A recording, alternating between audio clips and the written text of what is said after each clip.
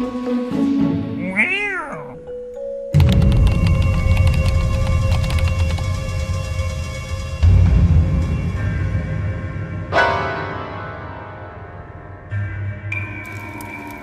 så jeg vidste tryllet rundt med en lund, der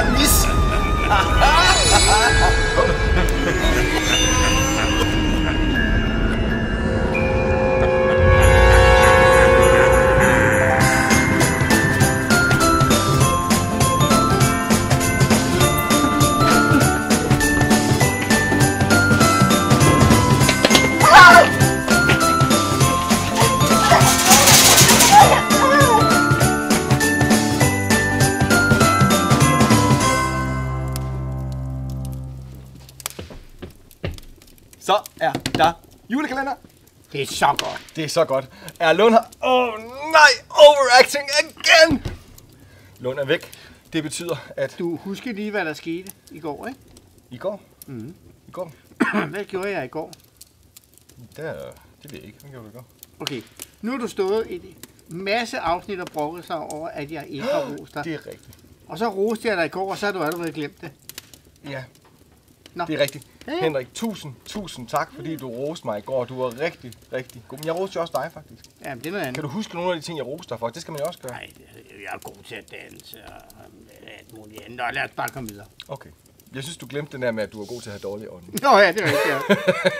Ja. Nå, vi øh, har jo et dejligt program i dag. Det er fredag i dag, og det vil sige, at vi ikke trækker nogen hilsen, fordi i dag bliver det offentliggjort, hvem der er vinderne af adventsgave hilsen. Og det er jo alle jer, der sender ind, også nu her, mens julekalenderen øh, kører. Om det. Man kan sende ind helt til den 16. december. Og så kan man altså være med. Selvfølgelig kan man ikke være med i den trækning, vi har i dag, hvis man ikke er sendt ind endnu. Det giver sig selv. I går ind på molestien.dk-jul 22, og derinde der kan I sende hilsner til hinanden, og så er I automatisk med i lodtrækningen, som jeg foretager hver fredag. Og så kommer det på skærmene i kantinen, hvor I kan se, om I har vundet. Hvis I er så heldige at vinde i den, så bliver det sendt til jer på mail. Altså, Så det er vinder jeg jo nok ikke, når det er dig, der trækker. Nej, det er jo det. Jamen, jeg, jeg kigger ikke på, hvad jeg trækker. Det er helt tilfældigt. Det Nå, jeg. okay. Godt. Jamen, øh, hvad skal vi mere ud i? Jeg er jo net med den der sådan kat der.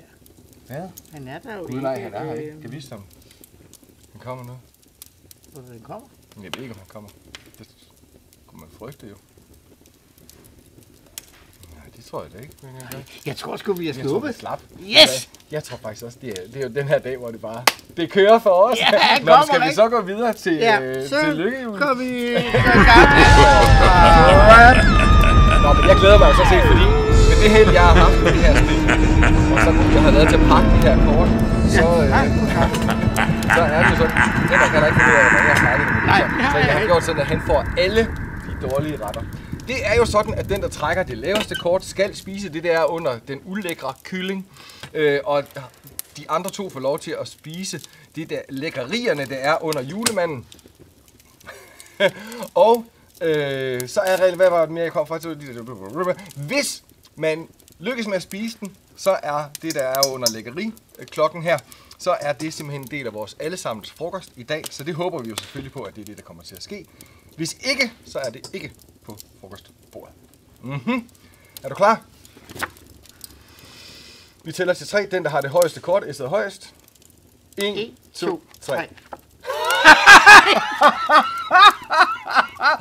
Og jeg har altså ikke pakket det godt.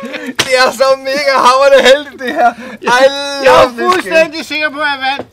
Vi er ude i en vaskeægte synk eller klønk, men først så skal vi lige øh, have en god gang velsmag. Ej, en dejlig klat. Hvad er det for en dejlig klat her? Skal du have en lille klat?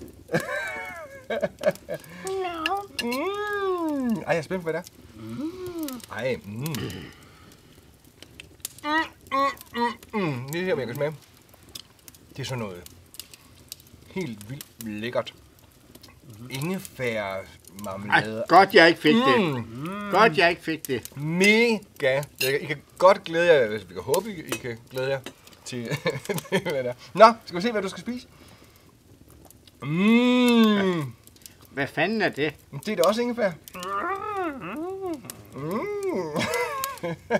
Nå, Henrik. Er du klar? Hvor meget skal jeg spise? Det er det hele da. En skefuld.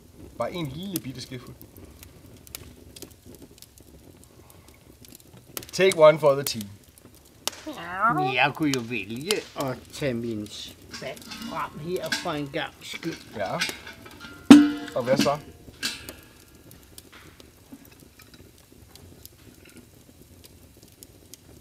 Kom så. Du kan godt. Du kan godt. De vil, prøv at høre. Er det stærkt? Det er selvfølgelig er stærkt.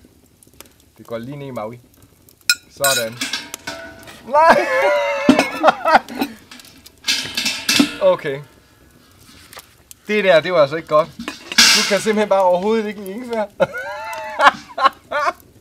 Nå, men så får du jo den her på. Og det betyder jo så også, at der er hunderet for alle i kantinen nu her til frokost, når Henrik kommer ned. Fordi der ikke var helt vildt lækker ingefærmarmelade til jer. Dem. Nå, ja, det var godt nok en skam.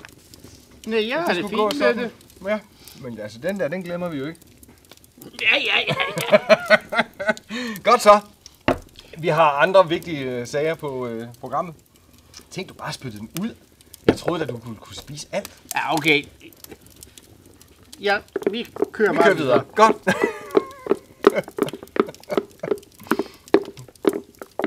Det skal blive spændende, hvem der øh, vinder i dagens lykkehjulskonkurrence. En, En sekser! Den har vi ikke haft endnu. Det er jo en, hvis fornavn starter med bogstaverne fra R til Å. R til Å. Lyser op heroppe. Skal vi se, hvem den heldige bliver? Ja. Godt. 1, 2, 3. Var det Claus! Lykkehjulet!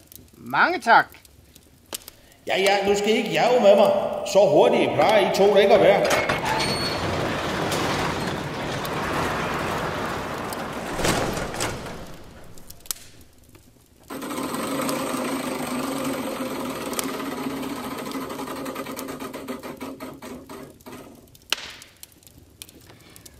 Ej, hvor godt. Nummer 315. 315. Ej, hvor er du bare heldig. Nummer 315, hjertelig tillykke med den lækre hovedpræmie fra i dag af. Det var da skønt at blive øh, begavet med sådan en. Hvor skal de hente den der hovedpræmie hen? Den hentes naturligvis hos de flinke mennesker i forsendelsen Uh. i stueetagen. Ej, hvor godt. Ja. Nå, nu er der ikke mere tilbage, end at vi skal sige, ha' en, nisse dejlig dag. dag.